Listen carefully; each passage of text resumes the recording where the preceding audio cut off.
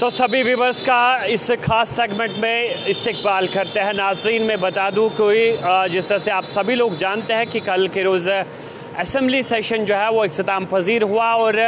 आप सभी लोग जानते हैं जिस तरह से हमने कैप्शन डाला है। कैप्शन आपने पढ़ ही लिया होगा कि जम्मू कश्मीर को मज़ीद 300 मेगावाट बिजली जो है वो मरकज़ की तरफ़ से आ, मिलेगी। इन्हें मरकज़ ने 300 मेगावाट बिजली जो है वो सेंशन कर दी है। ये कहना है जम्मू कश्मीर के चीफ मिनिस्टर उमर अब्दुल्ला का। और उमर अब्दुल्ला ने कल जिस तरह से मोशन ऑफ़ थैंक्स में यानी जब लेफ्टिनेंट गवर्नर के खताब का जवाब जो है वो असम्बली में दिया जा रहा था तो उन्होंने वहाँ कहा कि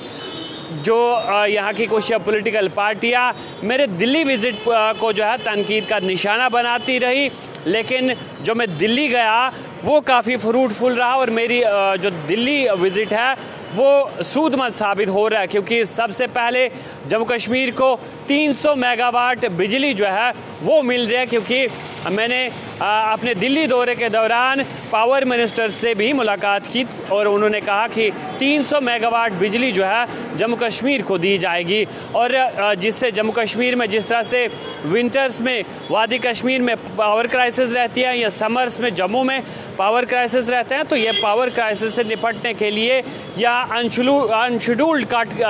से निपटने के लिए जो है इस तरह के इकदाम जो है वो उठाए जा रहे हैं और काफ़ी सूदमंद ये विज़िट साबित रही और जम्मू कश्मीर को बहुत जल्द जो है 300 मेगावाट बिजली जो है वो मिलना शुरू हो जाएगी। साथ ही साथ उनका ये भी मानना था कि जिस तरह से यहाँ की पॉलिटिकल पार्टियाँ जो है, वो तनकीद का निशाना बना रही है कि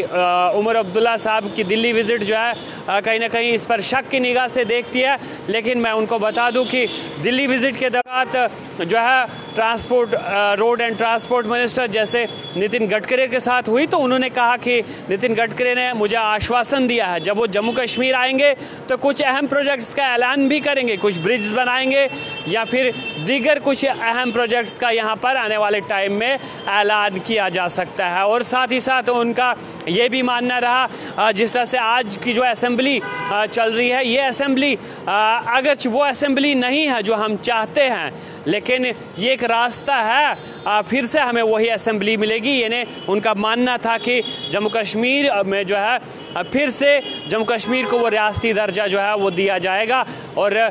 इसी के चलते उन्होंने होम मिनिस्टर के साथ मुलाकात की उनके साथ बात की और उसके साथ साथ वज़ी अजम के साथ भी वो मुलाकी हुए तो उनका मानना था कि जो उनके साथ बातचीत हुई चाहे रेस्टोरेशन ऑफ़ स्टेटहुड के हवाले से हो या दीगर मामला के हवाले से हो तो बहुत जल्द जम्मू कश्मीर को रियासती दर्जा भी दिया जाएगा। इस पर भी जो है, अच्छी खबर आने वाले टाइम में आएगी। लेकिन फ़िलहाल मैं आपको बता दूँ कि कल के रोज़ ये बड़ी खबर निकल कर सामने आई, जिस तरह से उमर अब्दुल्ला ने कहा कि जम्मू कश्मीर के लिए जो है, मरकज़ ने 300 मेगावाट एडिशनल बिजली जो है, वो सेंशन कर दी है और आने वाले टाइम में जम्मू कश्मीर में पावर क्राइसिस जो है, वो ख़त्म हो जाएँगे। जो पावर कट्स है, इसमें भी कहीं ना कहीं नुमाया कमी देखने को मिलेगी और वादी कश्मीर में विंटर्स में जिस तरह से पावर की बहुत ज़्यादा ज़रूरत होती है और उस टाइम जो है क्राइसिस भी देखने को मिलते हैं। और साथ ही साथ जम्मू खत्े में गर्मियों में जिस तरह से बिजली की ज़रूरत रहती है तो इसी के चलते जब उन्होंने पावर मिनिस्टर के साथ बात की तो उन्हें 300 वो मज़ीद जम्मू कश्मीर के लिए दी गई। और उन्होंने ये कहा कि अगर यहाँ की पोलिटिकल पार्टियाँ जो भी हिजब मुखालिफ पोलिटिकल पार्टियाँ हैं वो इन्हें तनकीद करती है उससे उसका आ, कोई नुकसान नहीं हो रहा उन्हें कोई फ़र्क नहीं पड़ता है वो आवाम को फ़ायदा पहुँचाने के लिए आ, ये जो है